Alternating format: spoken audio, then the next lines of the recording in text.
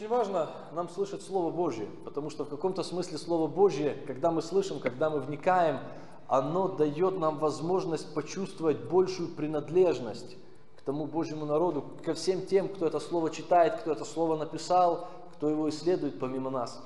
И сегодня я предлагаю вам серьезное испытание. Мы прочитаем очень большой отрывок, поэтому нужен помощник. Открой Луки 15 главу, пожалуйста. Луки 15 глава. Целом вы знаете как минимум треть, а то и половину этой главы очень хорошо. Поэтому э, я не буду вас очень долго мучить. Вы сегодня слышали уже несколько проповедей, стихотворений. И я очень хорошо знаю одиннадцатую заповедь для проповедников. Да? Блаженны кратко проповедующие, ибо снова приглашены будут. Вот. Поэтому, в принципе, э, мы будем говорить о вещах, которые вы знаете, но я хотел бы, может быть, акцентировать внимание на некоторых новых аспектах. В 15 главе Иисус рассказывает три притчи. Одну из этих притч вы хорошо знаете, это притча о блудном сыне. Две другие вы, скорее всего, тоже знаете, но, может быть, не настолько хорошо. И по большому счету Иисус рассказывает эти три притчи в качестве ответа на один вопрос. И вот эти три притчи или три примера, они все говорят об одном. И мы сегодня постараемся понять, о чем же они. Э, давай, наверное, по пять стихов. Я пять, потом ты пять. Подходи сюда. Или там, если микрофон есть. Просто если я один прочитаю вам 30 стихов, вы уснете. Вот. А если мы вдвоем будем по 5 стихов, есть какой-то шанс, что вы дослушаете. Так давайте выслушаем Слово Божье. Евангелие от Луки, 15 глава. Приближались к нему э, все мытари и грешники слушать его. Фарисеи же и книжники роптали, говоря, он принимает грешников и ест с ними. Но он сказал им следующую притчу. Кто из вас, имея сто овец и потеряв одну из них, не оставит 99 в пустыне и не пойдет за пропавшую, пока не найдет ее? А найдя, возьмет ее на плечи свои с радостью. И пришел домой, созовет друзей и соседей и скажет им, порадуйтесь со мною, я нашел мою пропавшую овцу. Сказываю вам, что так на небесах более радости будет об одном грешнике кающемся, нежели о 99 праведниках, не имеющих нужды в покаянии. Или какая женщина, имеющая 10 драх, если потеряет одну драхму, не зажжет свечи и не станет нести в комнату и искать тщательно, пока не найдет. А нашедший созовет подруг и соседа и скажет, порадуйте со мной, я нашла потерянную драхму. Так говорю вам, бывает радость у ангелов Божьих и об одном грешнике кающемся. Еще сказал, у некоторого человека было два сына, и сказал младший из них отцу, отче, дай мне следующую мне часть имения. И отец разделил им имение. По прошествии немногих дней младший сын, собрав все, пошел в дальнюю сторону, и там расточил имение свое, живя распутно. Когда же он прожил все, настал великий голод в той стране, и он начал нуждаться. И пошел, пристал к одному из жителей страны той, а тот послал его на поля свои пасти свиней. И он рад был наполнить чрево свое рожками, которые ели свиньи, но никто не давал ему. Пришел же в себя, сказал, сколько наемников отца моего избыточествует хлебом, а я умираю от голода. Встану, пойду к отцу моему и скажу ему, «Отче, я согрешил против неба и пред тобою, и уже недостойно называться сыном твоим. Прими меня в число наемников твоих». Встал и пошел к отцу своему. И когда он был еще далеко, увидел его отец его и сжалился, и побежав, пал ему на шею и целовал его. Сын же сказал ему, отче, я согрешил против неба и перед тобою, и уже недостоин называться сыном твоим. А отец сказал рабам своим, принесите лучшую одежду и оденьте его, и дайте перстень на руку его и обувь на ноги, и приведите откормленного теленка и закалите, станем есть и веселиться. Ибо этот сын мой был мертв и ожил, пропадал и нашелся, и начали веселиться. Старший же сын его был на поле, и, возвратившись, когда приближался к дому, услышал пение и ликование. И призвав одного из слуг, спросил, что это такое? Он сказал ему, брат твой пришел, и отец твой заколол откормленного теленка, потому что принял его здоровым. Он осердился и не хотел войти. Отец же его вышел, звал его. Но он сказал в ответ отцу, вот я столько лет служу тебе, и никогда не приступал к приказанию твоего, но ты никогда не дал мне и козленка, чтобы мне повеселиться с друзьями моими. А когда этот сын твой, расточивший имение свое с блудницами, пришел, ты заколол для него откормленного теленка. Он же сказал ему, сын мой, ты всегда со мною, и все мое твое. А о том надобно было радоваться и веселиться, что брат твой сей был мертв и ожил, пропадал и нашелся. Аминь. Спасибо огромное за помощь. Вы молодцы, вы дослушали этот длинный отрывок. И я хотел бы немножко поговорить с вами о том, о чем говорил здесь Иисус. Он рассказал три притчи, и все эти три притчи об одном. И по большому счету мы можем сказать, вот эта глава может носить такое условное название притчи о потерянных. В одном случае мы видим, потерялась овца, в другом случае потерялась драхма, или давайте скажем просто монета потерялась, и в третьем случае потерялся сын, потерянный сын. И вы знаете, эти притчи достаточно актуальны сегодня. Я знаю очень многих людей в церкви, которые в свое время потерялись. Возможно, вы знаете тоже таких людей. Год или два назад они сидели рядом с вами, а сегодня их здесь нету. Или, может быть, они были там 5-10 лет назад, сегодня вы не видите их рядом. И так или иначе, у каждого в жизни нас, наверное, есть знакомые, которые с позиции христианской веры, с позиции принадлежности к церкви, с позиции верности учению Христа, эти люди где-то потерялись. И я хотел бы сегодня посмотреть на эти три притчи. В них есть что-то общее, но при всем при этом есть и различия.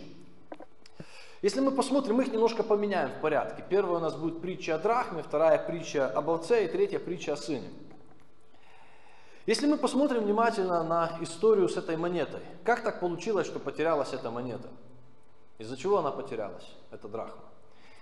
Скорее всего, она потерялась просто из-за невнимательности хозяйки. У женщины было 10 драхм, она либо не туда положила, либо была у нее дыра в кармане, либо какое-то было еще явление. То есть она просто где-то не обратила на нее должного внимания, и эта драхма потерялась.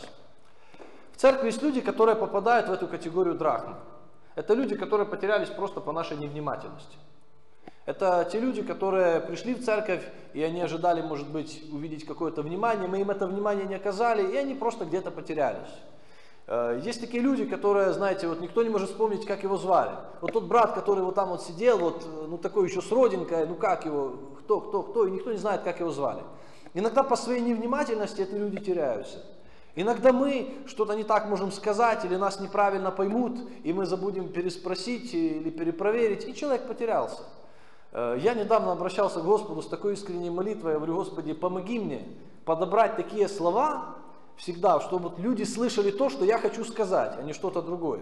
У меня постоянно проблема. Я говорю одно, а люди слышат другое. Я думаю, эта проблема не только моя, мне так хочется надеяться. Э, но всегда есть возможность недопонимания. И иногда, не разобравшись в этих вещах, человек просто теряется. Ты не видишь его долгое время, и потом, когда ты пытаешься понять, а что же случилось, оказывается просто какая-то надуманная ситуация из-за какой-то нашей невнимательности, из-за непорядка в доме. Вы знаете, в церкви э, всегда есть люди, которые назначают себя ответственными за поддержание норм благочестия. И кто-то зашел, может быть, в неподобающем с точки зрения наших представлений виде, кто-то там в футболке зашел в храм, да, кто-то в шортах зашел, кто-то еще. И подошел добрый человек и сделал ему братское внушение в любви. Ну, мы так это называем, братское внушение любви, на деле оно может оказаться немного другим. И такой человек получил такую огромную порцию любви, что в принципе ему потом до конца дней уже не нужно приходить в церковь, он уже и так пребывает в благодати вот благодаря этому вниманию. И это по большому счету непорядок в доме. И есть люди, которые из-за этого теряются. Если мы возьмем овцу, овца потерялась, ну не потому, что пастух не обратил на нее внимания, овца сама куда-то забрела. И если мы возьмем овцу, что можно взять от этой овцы? Она овца. Овца потерялась из-за каких-то собственных неверных решений. Вместо того, чтобы отзываться где-то на голос пастуха, она там увидела, может быть, какую-то траву, которая ей больше понравилась, отбилась от стада и пошла куда-то. То есть овца просто в силу своей вот этой вот овечьей природы, как бы мы сказали, если применительно к людям, в силу незрелости или в силу недостатка понимания, или в силу недостатка видения общей картины. Потому что вы знаете, когда овца бродит по полю, она смотрит себе под ноги, и у нее круг восприятия очень сильно ограничен. Пастух может смотреть дальше, он видит, что там обрыв, и вот эта сочная трава буквально закончится там через какое-то время, и начинаются тернии. Но овца этого не видит. И вот в силу того, что она овца, она принимает какие-то неправильные решения, и она теряется из-за этого. Есть люди, которые потерялись в церкви только по той причине, что э, в свое время им не хватило мудрости в каких-то вопросах, Они не совершили какого-то страшного греха, они просто что-то неправильно поняли или что-то недопоняли и решили, что вот может быть вот так вот будет лучше, и решение это было не совсем верным. То есть люди просто по своей оплошности где-то потерялись. Есть третья категория людей, это сыновья. Если мы посмотрим на этого сына из третьей притчи или из третьей части притчи, сын потерялся в результате сознательного бунта. Он не просто стал потерянным сыном, да, или как блудный сын, это сын заблудился где-то. Шли вместе, держался за папину руку, а потом отпустил, замешкался и заблудился. Мы понимаем, что этот блудный сын блуждал в результате того, что он сознательно разделился с отцом, он сознательно оскорбил его и ушел из семьи. У нас нет времени, но если бы мы могли разобрать эту притчу подробнее, возможно, вы знаете это, возможно, вы проводили такой разбор, то те слова, которые сказал сын, это было невероятно грубое оскорбление. Когда он попросил у отца часть имения при жизни, он по большому счету сказал, папа, ложусь уже в гроб. И это я как бы очень сильно смягчил выражение, то, как это выглядело. И после того, что этот сын сделал, у отца было законное право совершенно законное право прочитать по нему заупокойную молитву и официально объявить его, ну вообще даже, то есть стереть его из своей жизни, никто бы его не осудил. Все бы поддержали это решение, потому что сын поступил невероятно грубо. Отец отдал ему это имение. То есть мы видим в случае с монетой. Монета потерялась просто по невнимательности хозяйки. Овца потерялась, потому что в силу своей овечности она принимала какие-то неправильные, незрелые решения. Сын ушел в результате сознательного бунта. Все эти истории разные, но между ними есть что-то общее. Они все потерялись. Они все оказались не там, где должны были быть. Как мы можем отреагировать на подобные ситуации с людьми, с нашими друзьями, с нашими знакомыми? Если это драхма, если это монета, что сделала хозяйка? Она по большому счету навела порядок в доме. Да? Она зажгла свечи, в доме стало больше света. Один из простых способов, как мы можем предотвратить потерю вот таких вот драхм, потерю таких монет, это принести больше света в церковь. Не шушукаться по углам, а задавать вопросы прямо и открыто, ожидать на них прямого ответа, не пытаться вести какие-то интриги, а честно говорить о том, что тебя волнует, честно признаваться в своих сомнениях, честно признаваться, говорить о своих страхах и говорить об этом нужным людям, тем людям, которые могут помочь в решении, а не просто для того, чтобы показаться духовным. Мне когда-то довелось слышать молитву одной сестры пожилой, а другой более молодой. У той молодой сестры были проблемы с мужем.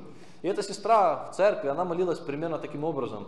Она говорила, Господи, вот там ты вразуми мужа, но ты же вразуми эту сестру, ты же видишь, что она вот это, вот это делает неправильно. И вот здесь она тоже не совсем права, Господи, дай ей мудрости. И вот как она там на прошлой неделе разговаривала с мужем, Господи, ты там помоги мужу простить. То есть она как бы вывалила всю подноготную. Я был в гостях в этой церкви, и я вам честно скажу, э, эта сестра обломала мне всю молитву.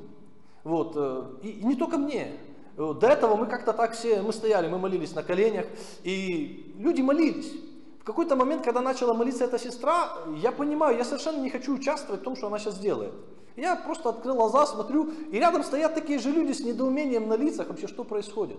Понимаете? Мы должны принести свет в наши отношения, мы должны быть достаточно смелыми и достаточно любящими для того, чтобы честно поговорить друг с другом. Если меня смущает что-то в моем брате или в моей сестре, то, ну, скорее всего, нужно подойти к этому человеку, а не бежать сразу там искать братьев, которые могли бы вразумить. Да? Если у меня есть какие-то вопросы, если я не согласен, может быть, с чьей-то позицией, э, по тому или иному какому-то э, вопросу, мне не обязательно начинать закулисные интриги. Я могу подойти и спросить, брат, что ты имел в виду? Вот мне кажется, ты не совсем правильно учишь там или еще что-то. Это решит массу проблем. Это поможет вот этим вот драхмам, вот этим э, монетам не теряться. Нам не нужно будет потом выметать, искать. Если мы наведем порядок в своем доме, если мы наведем порядок в церкви, драхмы перестанут теряться. И мы найдем тех, которые были потеряны. С овцой все немного интереснее. Мы видим, от нас требуется приложить больше усилий. Пастух оставляет стадо, он идет, ходит эту овцу и прилагает усилия для того, чтобы ее вернуть. Если монету можно было просто поднять и положить там куда в кошелек или в сундук, я не знаю, где она хранила хозяйка эти деньги, овцу нужно было принести. Нужно было пойти к этой овце и принести ее. Если мы говорим о драхме, то просто мы наведем порядок, мы выясним отношения, такой человек вернется. С овцой все немного сложнее. Мы должны быть достаточно смелыми для того, чтобы пойти к этому человеку. И мы должны понимать, что нам потребуется приложить усилия. Я не имею в виду физически там, притащить этого человека в церковь, но нам придется проявить терпение, дать этому человеку высказаться. Нам придется проявить сострадание, нам придется закрыть глаза и сгладить какие-то острые углы. Нам придется проявить терпение, потому что, возможно, человек после первой беседы, после первой встречи не захочет вернуться. Мы должны быть готовы потрудиться. Хозяин оставил 90, пастух оставил 99 овец и пошел ради одной. У каждого из нас в жизни есть такая одна овца. У кого нету, может быть, я не прав, поднимите руку. Но я почему-то думаю, у каждого в жизни есть такая овца, у кого-то и две, и три. У меня их около десятка, этих овец. И мне проще молиться за них. Мне проще взывать Господу, мне проще подключать кого-то к молитве за этих людей, чем пойти и поговорить с ними. Почему? Потому что я знаю, что многие из них, они не захотят с первого раза слушать. Многие из них, у них есть какие-то свои там э, обиды, у них есть какие-то свои разочарования в Боге, в которых, в принципе, виноваты они сами, если так разобраться. Да? Но если кто-то не поможет им, если кого-то не будет рядом с ними, они никогда этой обиды и разочарования не преодолеют сами по себе. Готов ли я сегодня оставить 99 овец, с которыми мне комфортно, с которыми мне интересно, которые меня понимают, да, которые не будут ранить меня в ответ на мои слова, и пойти к той одной овце,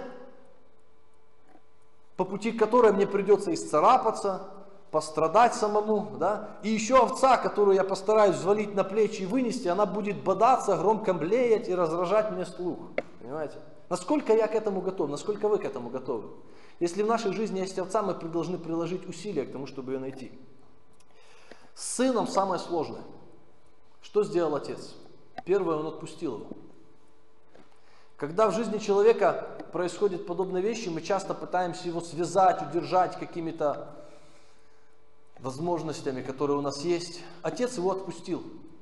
Как ни странно, он уважал решение этого человека. Хотя решение было ну, невероятно неправильным, более того, оно было оскорбительным. Он отпустил, он был готов ждать, и он не терял надежду. Я сегодня хочу обратиться к некоторым из вас, чьи родственники, вот такие вот блудные сыновья. У кого-то из вас это дети, у кого-то из вас мужья. Не теряйте надежду. Отпустите их. Не рассказывайте им, как жить. Отпустите. Молитесь, верьте и будьте готовы принять его в тот момент, когда он вернется. Отец ждал. Отец ждал. Все, что он делал, он ожидал. Он выходил и вглядывался вдаль. Он делал это регулярно. Не теряйте надежду. Я не знаю, сколько прошло времени, здесь не написано. Мы не знаем, это был год или два, но предполагается, что времени прошло достаточно, потому что сын получил большое наследство, потом сменились какие-то времена, то есть это было как минимум несколько лет. И отец все это время ожидал и не терял надежду. И мы способны к тому же, потому что у нас есть надежда на более отдаленные вещи, на более славные вещи, чем покаяние одного человека. У нас есть надежда на то, что мы будем царствовать со Христом. У нас есть надежда на то, что мы будем в вечности с Ним. Это более великая надежда, и мы как христиане мы ее имеем внутри себя. Неужели у нас не хватит надежды дождаться того человека? Молиться, верить, но при этом отпустить и ждать. И самое важное, самое важное, готовы ли мы, как отец, пожертвовать своей репутацией ради того, чтобы вернуть этого человека? Возможно, это нам не так очевидно, но для слушателей Иисуса слова были очень понятны. Во-первых, то, что отец его отпустил, это он поставил себя в уязвимое положение. Это давало возможность каждому, кто его знал, ткнуть пальцем и сказать, вот это этот старикан, которого собственный сын так унизил. И я уверен, люди говорили это за его спиной. Когда он увидел сына, он побежал ему навстречу. И мы должны понимать, что на Востоке глава семейства, патриарх, он не мог бегать ни при каких обстоятельствах. Почему? Потому что это было позорно для него. Знаете, у нас есть тоже такое выражение, что генералам бегать нельзя. Почему? Потому что в мирное время это вызывает смех, а в военное панику. Так вот, точно так же на Востоке глава семейства не должен был бегать. Почему? Потому что для того, чтобы бежать, ему нужно было поднять вот эти свои длинные одежды, обнажить ноги, и иначе он запутался. Но до сих пор на Востоке, если ты обнажаешь ноги, или если ты показываешь подошвы, это просто позор, это огромный позор. То есть то, что отец побежал ему навстречу, это поставило его в такое положение уязвимое, это поставило его, сделало его объектом насмешек. И там, скорее всего, какие-то соседские дети смеялись, он, смотри, этот старик из ума выжил. Готовы ли мы пожертвовать своей репутацией ради того, чтобы вернуть таких людей? У меня есть люди, друзья, знакомые. Сам тот факт, что я общаюсь с ними время от времени, уже навлекает на меня косые взгляды братьев и сестер. Потому что это люди, которые сознательно сбунтовались, ушли из церкви. Если я приму такого человека в общение, он придет ко мне с покаянием, я ему скажу, хорошо, я тебя прощаю. Если он станет членом моей церкви, обязательно в городе найдутся люди, которые скажут о том, что я либерал, что я закрываю глаза на грех, я должен там проявлять какие-то суровые дисциплинарные меры, а я этого не делаю. И я вам честно скажу, мне плевать. Для меня душа человека, особенно если это мой близкий, если это мой знакомый, дороже вот этих вещей. Я не готов ради каждого так рискнуть. Но есть люди, ради которых я готов. Есть ли в вашей жизни близкие люди, ради которых вы готовы рискнуть своей репутацией? Поставить себя под удар, закрыть глаза на какие-то вещи. Да, еще вчера этот человек грешил, делал плохие вещи, сегодня он пришел, он ищет помощи. Готовы вы воспринять его, невзирая на его прошлое? Готовы вы дать отпор тем доброжелателям внутри церкви, которые придут и скажут, как фарисеи, тебе нельзя с ними есть и пить, потому что это грешники. Готовы ли мы к этому? Готовы ли мы подставить свою репутацию на кон? От нас не требуется жертвовать э, подобными вещами ради всех. Но у нас есть близкие люди. У нас есть друзья. Этот сын, это не был чужой человек какой-то. Это был кто-то дорогой нашему сердцу. Готовы мы переступить через какие-то условности ради того, чтобы позволить этому человеку вернуться. Это непросто. Но отец сделал это. И он поставлен в пример. Очень интересно посмотреть реакцию окружающих. Когда нашлась драхма, что произошло? Женщина позвала подруг, соседок и сказала, порадуйтесь со мной. Был праздник, скорее всего, найденную драхму тут же потратили и прогуляли. С овцой мы видим, созывает друзей, соседей и говорит им, порадуйтесь со мною, я нашел мою пропавшую отцу. И приходят люди и тоже, я не знаю, как сложилась судьба этой овцы, вероятно, вряд ли овцу эту закололи для праздника, да? Но, тем не менее, в первых двух случаях мы видим радость. Друзья, близкие готовы порадоваться. Когда приходит человек, случайно затерявшийся в церкви из-за каких-то недопониманий, мы обычно рады. Слава Богу, брат, слава Богу, сестра, давно тебя не видели. Когда приходит овца, которая где-то просто по своей вот этой вот овечьей природе, по своей незрелости, приняли какие-то решения, мы тоже готовы немного пожурить и радоваться с этим человеком. Когда пришел сын, самые близкие люди отказались радоваться. Старший сын, который все это время был с отцом, он не видел повода для праздника. Он не видел повода для праздника. Он пришел и он начал говорить, это неправильно, мы не можем принять его на равных основаниях, он не может быть членом нашей семьи, да, он может быть просто там как бы гостем или на испытательном сроке или что-то еще, он был вообще не рад. И мы должны быть готовы к этой реакции. Всегда будут люди, которые не будут очень рады обращению такого вот проблемного грешника. И я вам честно признаюсь, я один из них. Некоторые люди, когда они приходят в церковь, я вообще не рад их приходу. Искренне перед вами говорю. Мне было бы проще, если бы они ко мне не приходили, если бы они пошли к кому-то другому. Вот. Потому что я знаю, с ними будут только проблемы. И я не настолько близко с ними раньше был знаком, вот, э, чтобы жертвовать ради них временем, терпением и так далее. Чисто по-человечески мне хочется э, отправить этих людей. У меня уже даже есть адреса церквей, ему подарить, сказать, вот тебе вот там вот будет интересно, там большая церковь, а там прославление хорошее, а там проповедники замечательные, иди туда. Вот. А там есть группы для таких, как ты. А, но действительно ли мы разделяем Божье отношение к таким людям. Нам всем есть чему поучиться из этой 15 главы. Потому что я еще раз подчеркиваю, у каждого из нас есть люди, которые попадают в эту категорию драхма, овца или сын. И в некоторых случаях от нас требуется не так много усилий. Нам требуется просто навести порядок в доме, просто перестать сплетничать, говорить за глаза, просто начать задавать вопросы к тем, кто на эти вопросы может ответить, а не искать там каких-то окольных путей. Это просто, сравнительно просто. Ради кого-то нужно приложить усилия, быть терпеливым, быть готовым где-то исцарапаться об этой тернии, быть готовым к тому, что тебя по дороге пару раз боднут, причем боднут еще может быть и не за то, что ты сделал, а за то, что кто-то другой сделал. Вот. Другой пастух где-то обидел эту овцу, а ты потом приходишь и получаешь из-за того пастуха, из-за всех остальных пастухов, которые у него были. Вот. Недавно была такая история с одной сестрой, не сестрой, не знаю, как ее сейчас назвать. Вот, мы пересекались там в некоторых социальных проектах, и ну, скажем так, я от нее очень много натерпелся добра в кавычках. Хотя она вроде как бы когда-то принадлежала к одной из церквей, э, но постоянно было какое-то противостояние в этой работе даже с ее со стороны. И потом кто-то из знакомых, который хорошо знал, объяснил, говорит, ты понимаешь, у нее были вот проблемы вот с пастором в той церкви. И сегодня, говорит, ты получаешь, из-за него получаешь, из-за всех остальных людей церкви, с которыми у нее были проблемы, потому что ты для нее представитель церкви.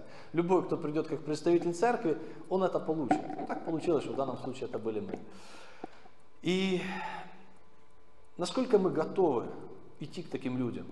И самое тяжелое, люди, которые взбунтовались, люди, которые сознательно ушли, растоптали все, насколько мы готовы верить и надеяться, что для них есть возможность вернуться. И когда они все-таки вернутся, готовы ли мы этих людей принять? Просто принять, без всяких там условий и так далее, просто принять, как принимает их Бог. Готовы ли мы к этому? Таких людей очень много в Украине. Не только, которые были в вашей церкви, но которые просто были в церкви, где-то потерялись. Их очень много. Очень много людей приходили, каялись, очень много людей исповедовали свои грехи за последние, наверное, лет 20. И сегодня всех этих людей нет в церкви, но где-то они есть. И я верю, что Бог призывает нас обратить внимание на этих людей. Дать им место в своем сердце, быть готовым принять их. Поэтому давайте молиться и молитесь и обо мне тоже, потому что у меня тоже есть и драхмы, и овцы, и пару сыновей, которые огорчают, расстраивают, и самое печальное, они не возвращаются так быстро, как бы мне хотелось, даже когда я иду к ним и предлагаю им это сделать. И по-человечески хочется плюнуть на них и забыть. Но Христос помнит о них. Неужели мы посмеем забыть этих людей? Поэтому давайте будем молиться об этом. За наших родных, за близких, за вот этих овец, за драхм, за сыновей. За наши сердца, чтобы нам не терять надежду, чтобы нам не терять решимость снова и снова обращаться к этим людям, нести им свет Божий, зная, что в 50% случаев ты получишь отпор, и какое-то время будешь испытывать такое эмоциональное расстройство. Давайте молиться о них, давайте молиться о себе. И, возможно, сегодня здесь кто-то сидит, кто попадает в эту категорию, драхмы или овцы, а то и сына. Может быть, вы в свое время когда-то потерялись. И сегодня вы не вполне еще нашлись. Вы думаете, может быть, находиться или дальше где-то теряться. Если вы попадаете в эту категорию, то к вам я обращаюсь особенно. Я не знаю вас, но, возможно, есть такие люди. Если вы в этой категории, подойдите сюда, и мы бы с вами хотели помолиться индивидуально, мы бы хотели с вами помолиться по-особенному. И от имени Церкви Божией, от имени Христа, которого мы все здесь представляем, я хотел бы первый протянуть таким людям руку помощи и руку общения. Если вы готовы найтись, если вы в свое время были потеряны, и каким-то чудом вы сегодня оказались здесь на этом собрании. Давайте мы помолимся.